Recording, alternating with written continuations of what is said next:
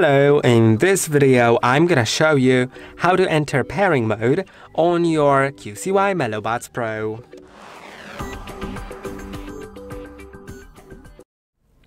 To do it, simply mm, open the lid and now if you're connecting for the first time, there will be a protective film on your earbuds.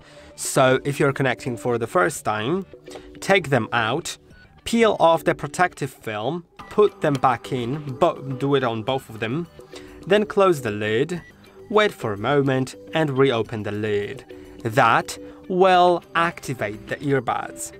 Now, from now on, it doesn't matter if you're connecting them for the first time or for another time. Uh, you just need to take them out to put them in pairing mode.